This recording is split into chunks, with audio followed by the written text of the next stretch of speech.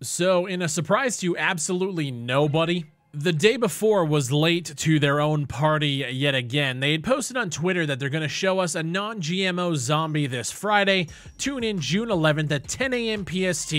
Pum pum pum. And they posted a picture of a burger and fries making fun of McDonald's, and they hashtagged YouTube and then responded to that tweet with a little video director's clip thing saying that it's going to be a video. And we were doing a live stream. I tuned in, and uh, yet again, they, I guess, forgot to upload the video, and then turns out a few hours later, they decide to drop a one minute teaser of somebody walking through what looks like a shopping mall into a McDonald's esque style restaurant with a zombie killer clown running at them, in which they then put him down. So, some more pretty scripted gameplay with some of the weather elements coming in here. Dark interiors with some, some very minimal lighting. We do see this baby carriage with a bunch of blood on the ground. And uh, again, it's just another linear shot with the character walking around, looking at the environment. The game looks gorgeous, but I believe this being the third time that they have announced that they're putting out some information and then delayed it by a few hours, wasting everybody's time, it's starting to at this point just make me not have any interest in the game. I'm starting to wonder how this team is going to handle doing real content updates to this game post launch if they can't even figure out how to release a YouTube video on time. This is starting to become the delay before at this point. It's literally becoming a meme that these guys can't put out whatever they say they're putting out at the time they say they're putting it out. And seeing how every other studio at this point is doing deep dives into their releases because it's E3 season and this is where we find out a lot of information about the games we're excited about. The fact that they hyped up a video coming this Friday, the launch of E3 weekend, and we got a one minute teaser of shooting a zombie clown in the middle of an empty McDonald's doesn't really sit well with me. I'm starting to lose a lot of faith. Not that I had a lot to begin with because there were so many unanswered questions, but I was hoping that E3 was going to bring a lot of information. I, I, guess I should have known. The delay before is looking like it could be an incredible game if it turns out to be real and actually look and play like it's being represented here.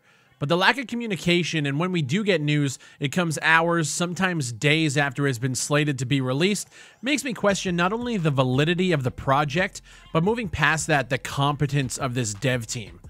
A lot of people have been pointing out that these guys are a small indie studio and that there's no way they can make something like this happen at this quality, running this well with the resources they have. And after seeing how all of this PR has been rolled out, I'm kind of inclined to agree with them even more than I was before. What the delay before needs now is a 20 minute unscripted gameplay session uploaded by the devs. It doesn't need to have all the flashy production, just have the devs sit down with the game, run around, talk about some of the areas and why they decided to build them that way, showcase some player interaction with maybe another dev, how trading and grouping works, and actually dive into the game's features. The problem with what they're doing now is you have two camps those who will blindly hype anything that looks flashy, and those that question absolutely everything. And you can squash both of those problems by just showing the game in a more natural environment. Follow that playtest up with another one between YouTubers and streamers so you guys can see your favorite creators playing the game, and if they like it, you can trust them. That's a slam dunk PR strategy.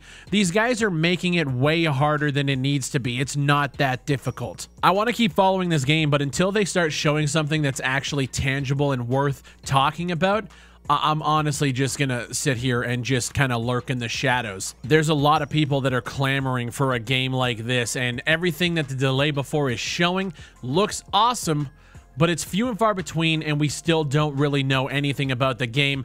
They're also slated to be releasing in quarter two 2021.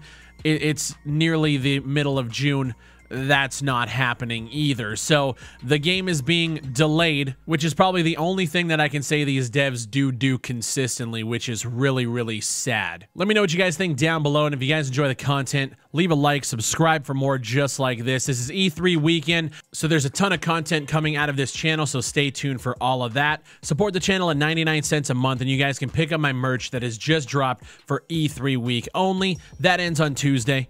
My name is Bigfry and I'll see you on the next one.